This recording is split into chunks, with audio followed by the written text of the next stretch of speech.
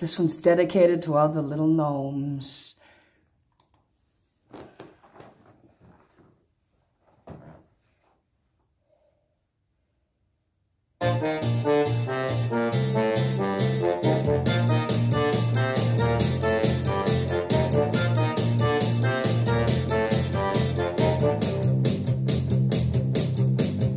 I was walking down the high street when I heard a footsteps behind me.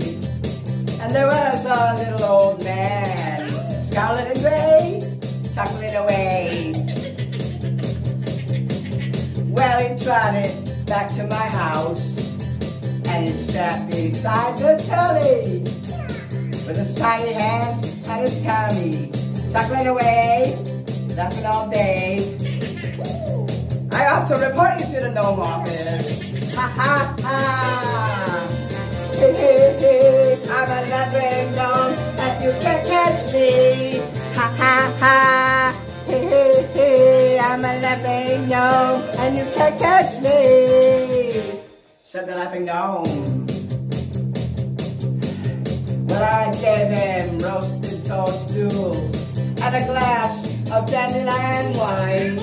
Then I put him on a train to Eastbourne, turned his back, gave him his bag.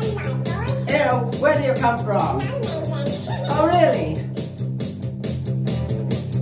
In the morning when I woke up, he was sitting on the edge of my bed with his brother, whose name was Fred. We brought him along to sing me a song. All right, let's hear it. Hey, what's that crackling noise? Ha ha ha! Laughing gnome and you can't catch me. Ha ha ha! Hey, hey, hey, I'm a laughing gnome and you can't catch me. Haven't you got an home to go to? Didn't they teach you to get your hair cut at school and you look like a rolling gnome?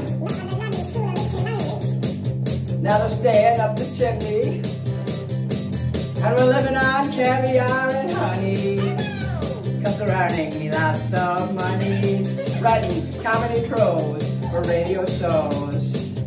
It's the Eris to Know service, of course.